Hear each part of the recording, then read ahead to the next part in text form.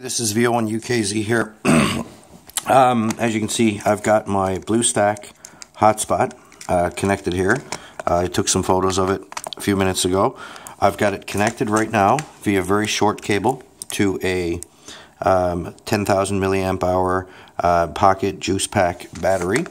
Battery just has uh, it has uh, two USB ports on it and a uh, charge port there, and that's it. So that's the whole hotspot. That's everything. No Raspberry Pi, no um, no extra you know units or anything like that. Very very small unit. Now I'm powering it off my battery pack right now. Normally when I'm out, I'll just power it off the bottom of the phone. I'll uh, connect this cable here to a USB OTG cable and power it right off my phone. So this is the entire hotspot. this hotspot, we've been talking about it uh, quite a bit lately and uh, I want to do a demonstration here of it. I've got it paired right now through Bluetooth. It can connect uh, via the same cable or slot that it's powering right to a computer. But for today's purposes, we've got a, an Android tablet right here, and uh, it's uh, it's paired up and ready to go. So you can see we've got connected right now. We're connected to DMR. There's a little bit of traffic going on on uh, reflector 3100 and uh, let's just see if we can uh, get a, a little uh, little demonstration going here.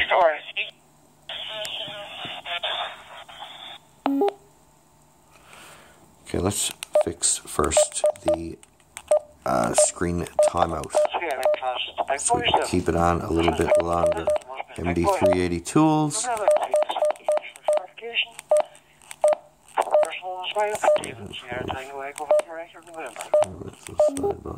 Ah, backlight. There we go. Backlight timer. Set to five seconds. Set it to a minute.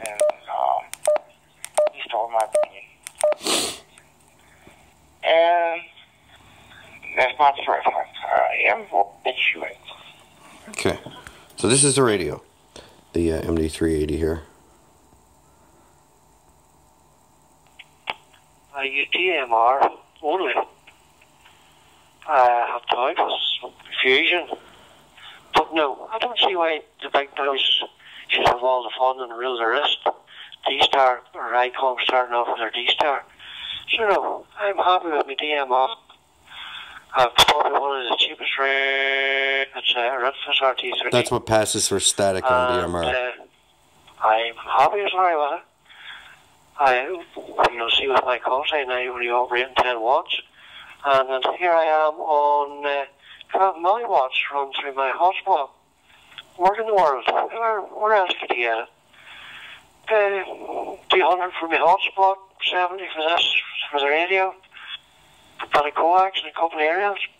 Just less than 300 pound.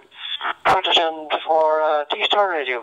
Uh, I stick for my red present DMR. Otherwise, really SST going. And the first D store, you can buy it to you for five hundred dollars, then buy a chip for two hundred fifty dollars. It's amazing how you buy these uh, Jesus and DMR radio and ready to go. Uh, and uh, like Jesus on their repeaters, you have analog or digital. Uh, ICOM shot their in the foot on their system on it, digital only. But uh, that's the way things happen. okay. As you can see, the same information is supposed to be displayed here, but this guy, I'm not sure what radio he's using. Either way, uh, this is it. So this is the hotspot. This is the radio running through the tablet as a touchscreen control interface and this is the whole unit. So anybody that was interested in what I've been babbling on about um, on the net in the morning. I had an offer all over here in Northern Ireland for a while back. Nice, uh, so much back. real nice DMR. There you go. That's it. This is VO1UKZ. That's your demonstration. That's all you get. This also works on D-Star, Fusion, all of it. So, hope you enjoyed. 73s from St. John's, Newfoundland.